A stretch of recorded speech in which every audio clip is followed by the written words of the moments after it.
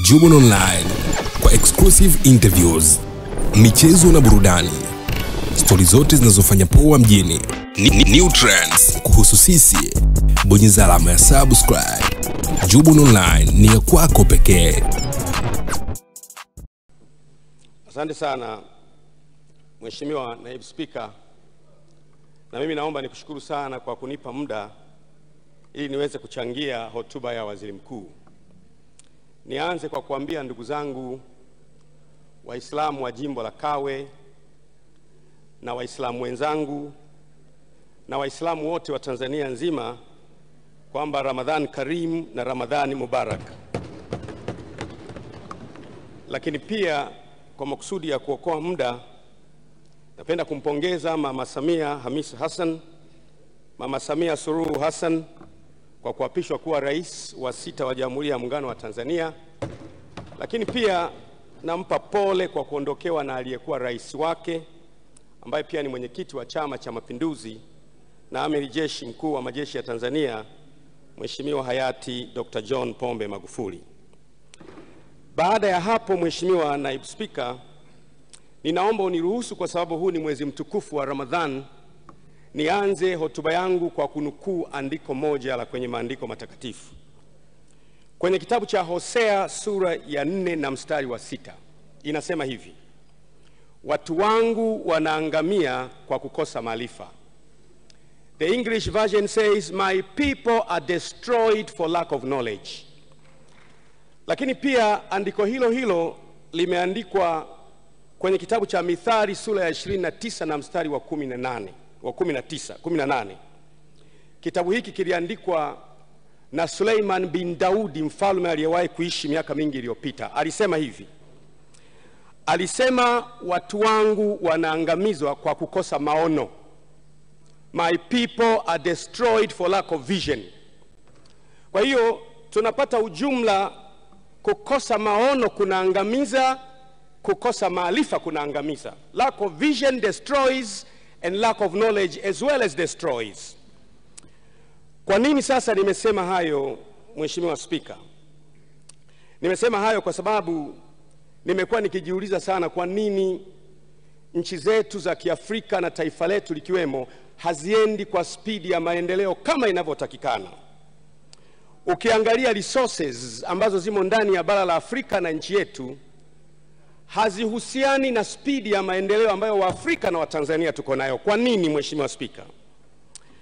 Nimekuwa nikiangalia kwa mfano bara la Afrika, asilimia tisini na moja ya rizavu ya almasi duniani inatokea bara la Afrika. Asilimia sitini na nne ya dhahabu duniani inatokea bara la Afrika.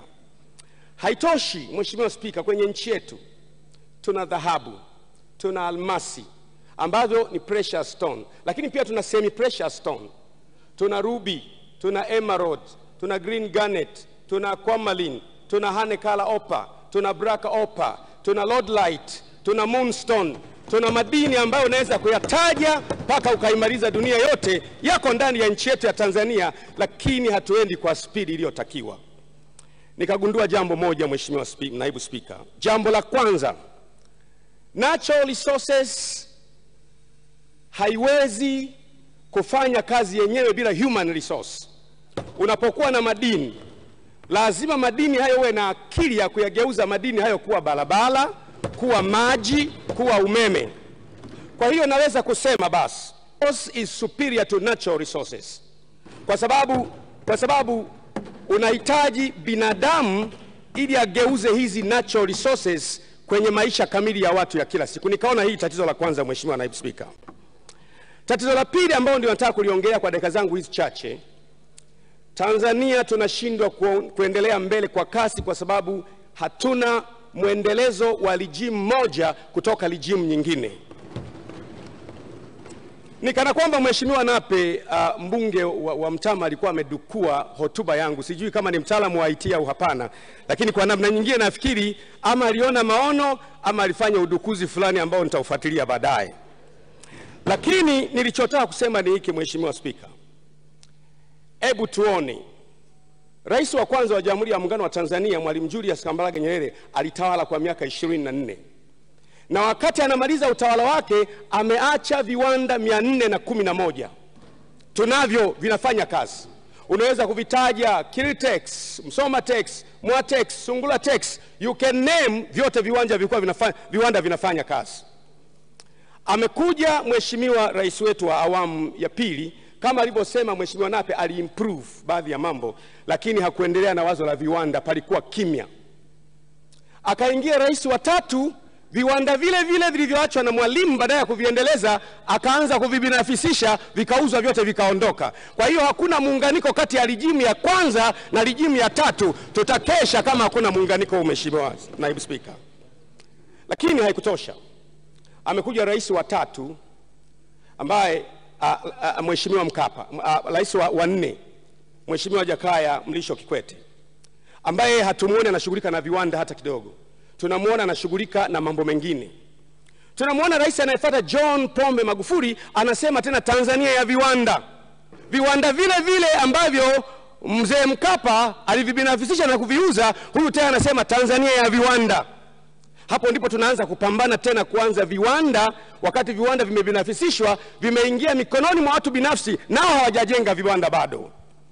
Kwa hiyo nikagundua jambo moja ambalo napenda niseme, naibu spika, kila rais aliyeingia madarakani aliperform vizuri, colorful kwa namna yake. Mwalimu Nyerere aliperform vizuri sana kwa namna yake. Mwinyi aliperform vizuri sana kwa namna yake. Mkapa aliperform vizuri sana kwa namna yake. Mheshimiwa Jakaya Kikwete vizuri sana kwa namna yake. Mheshimiwa Magufuli vizuri sana kwa namna yake. Naamini na Samia ataform vizuri sana kwa namna yake pia. Lakini namna hizi zao, kama kila mtu ana namna yake, unategemea nchi itaendeleaje? Kwa sababu kila mtu ana namna yake, na namna ya mwingine na namna ya mmoja ni kinyume cha namna ya aliyetoka. Tutaendaje kama namna hizi hazifanani? Mheshimiwa Naibu Spika, hii inanipelekea kusema ili tuendelee, tunahitaji agenda ya pamoja ya taifa lote. Kwa namna gani, Mheshimiwa Spika?